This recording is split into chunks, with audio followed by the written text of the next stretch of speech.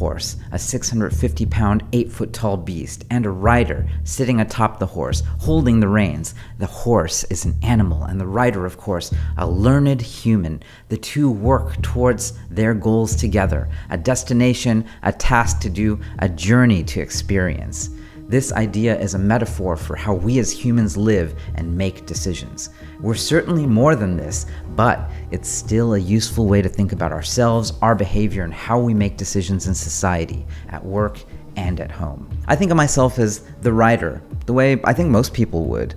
We are our language centers, and there are ways we can gain more control over the instincts and parts of ourselves we may not know well and these parts are sometimes inaccessible to us. I'm a programmer, so I think about self work and working on your own mental health as about turning a non deterministic process that you wouldn't normally have access to, and then being able to place strategic if statements in there to allow you to make more intentional choices. On the one hand, you could think of it as giving the rider more control, but it's actually more about integration a rider can make better choices when it is more in touch with the horse, not less. Things should be less of a struggle. They should be a dance, a grand internal dance that gets better and better. That's what I want for you. Let's get started.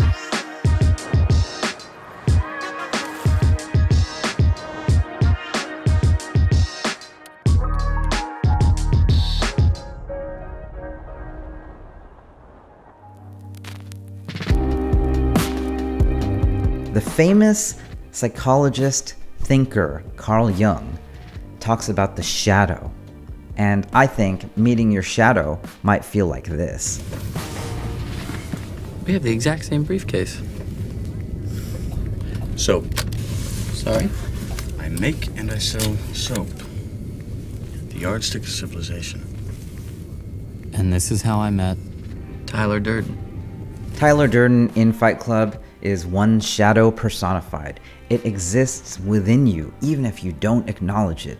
These are actually parts of ourselves, but they happen to be the parts we judge, we find aberrant, and we don't want to acknowledge it. Jung says, no one can become conscious of the shadow without considerable moral effort. To become conscious of it involves recognizing the dark aspects of the personality as present and real. This act is the essential condition for any kind of self knowledge. For me, I discovered one thing that was in my shadow was that I wanted power. I craved it. I desired it. I truly needed it and it was a part of my shadow. I didn't accept that. I grew up in a household and family system where power was actually prized, but because my father was an alcoholic and often not successful in his business pursuits, it was stymied back to back to back. And I grew to hate this need for power, yet simultaneously, it was a part of me all along. Even if I despised it, I did acquire the need for it powers the ability to direct or influence the behavior of others or the course of events. And when I was young, and especially because I was an engineer, it was perfectly acceptable to passively allow that part of me to not express itself. But it caused me problems. When I was co founding a startup in 2008, I didn't think I needed the power that a CEO title or full equal ownership would give me. And so I gave it up I gave up that CEO title and a significant percentage of ownership in that company simply because I didn't know myself well enough. And it cost me. It cost me big. I made this mistake a few more times in my career before realizing no, I'm going to let this part of me express itself. I want power, not for the same reason my father may have wanted it, but I want it so that I can set things right when they go wrong. And that was an important part of me growing into a leader and manager. Power hunger, madness, all kinds of things that you don't want to face. These are all a part of us, and there's a piece of you right now that you're not accepting. Jung says, You wanted to accept everything, so accept madness too. let the light of your madness shine, and it will suddenly dawn on you madness is not to be despised and not to be feared, but instead, you should give it life. Whatever your madness is, find out what it is, because until you make the unconscious conscious, it will direct your life and you will call it fate.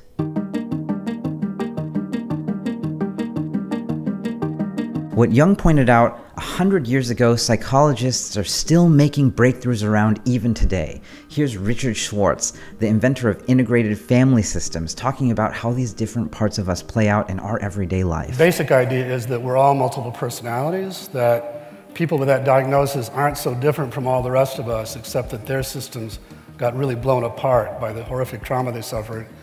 but we're all on a spectrum like that. One basic conviction is that Again, we're all multiple personalities. I've got them, you've all got them. Um, they're all valuable. There aren't any bad ones. I'm sort of the Will Rogers of the phenomena. I've never met a part that ultimately I didn't like. And that they need more access to this self because they lose trust in its leadership when bad things happen to you. As I did more inner work, one of the things I realized was that when I was not acting my best, not my highest and wisest self? Well, it often happened because I was hijacked by some part of me that was just not properly integrated. That's when my horse overrides my rider and does something unexpected. Jung too discussed these as complexes, little consciousnesses within ourselves, connected to things that we're not aware of. He said in a review of complex theory complexes behave like Descartes' devils and seem to delight in playing impish tricks. They slip the wrong word into one's mouth, they make one forget the name of a person one is about to introduce, they cause a tickle in the throat just when the softest passage is being played on a piano at a concert. They make the tiptoeing latecomer trip over a chair with a resounding crash. As one might expect on theoretical grounds, these impish complexes are unteachable. In Internal Family Systems, Schwartz talks about three different types of parts. Exiles are the younger parts of self that hold emotions, vulnerabilities, and trauma that is yet unprocessed. We've all got them. Managers are sort of the rider of the horse and rider. They help put the exiles aside so that the functioning part of self can go on with life and firefighters are extreme versions of managers, acting impulsively to make any pain or hurt go away. When you see dissociation, disconnection from others, or self destructive behaviors like addiction, these are the firefighters clearing the self away from the exiles and the pain that's unaddressed and unintegrated. When I work with my therapist, she actually uses a somatic approach to try to identify where these different parts exist and it's through connecting with these specific feelings in my body am I able to connect and then ask questions and re experience those parts of my life I've shoved away. Everyone has those, and they pop up in your day to day in all sorts of ways. Self acceptance is the key. Here's Alan Watts reading from the works of Carl Jung. And so acceptance of oneself is the essence of the moral problem and the acid test of one's whole outlook on life. That I feed the beggar, that I forgive an insult, that I love my enemy in the name of Christ, all these are undoubtedly great virtues. What I do unto the least of my brethren, that I do unto Christ. But what if I should discover that the least amongst them all, the poorest of all beggars, the most impudent of all offenders, yea, the very fiend himself, that these are within me, and that I myself stand in need of the arms of my own kindness, that I myself am the enemy who must be loved, what then? Then, as a rule, the whole truth of Christianity is reversed. There is then no more talk of love and long-suffering. We say to the brother within us, Raca, and condemn and rage against ourselves. We hide him from the world, we deny ever having met this least among the lowly in ourselves, and had it been God himself who drew near to us in this despicable form, we should have denied him a thousand times before a single cock had crowed. Healing may be called, Jung says, a religious problem. In the sphere of social or national relations, the state of suffering may be civil war, and this state is to be cured by the Christian virtue of forgiveness and love of one's enemies. That which we recommend with the conviction of good Christians is applicable to external situations, we must also apply inwardly in the treatment of neurosis. This is why modern man has heard enough about guilt and sin. He is sorely beset by his own bad conscience, and wants rather to know how he is to reconcile himself with his own nature, how he is to love the enemy in his own heart, and call the wolf his brother. Can you call the wolf within you your brother? If you deny yourself, then there's no way to fix the situation. You are doomed to call this fate. The world I've discovered, and I think you know too, is a broken one. And all of us have been through some moment in life that we just hold off and shove in the corner. There are parts of us we refuse to acknowledge. It's too ugly. We don't want to believe that is us, or it's something that happened to us we wish we could undo. Sometimes it's even a choice we made that is too painful to think of.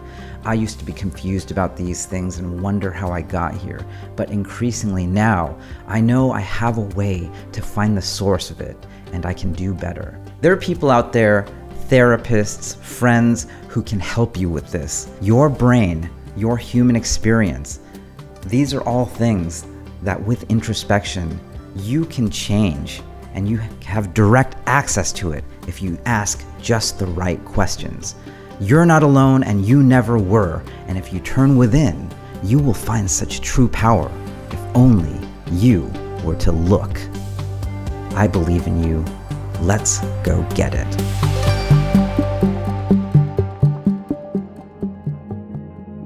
So that's it for this week. I wanted to spend some time talking about mental health because, to be honest, I'm just a seeker and I'm trying to understand more about myself so that I can be better to the people around me. Like any engineer, I try to notice when there are bugs and flaws, log them, prioritize them, and figure out how to fix them. It's impossible to be perfect, but it is possible to get better. I try to live life by Postel's Law. It's a law that governs internet protocols like the web and email.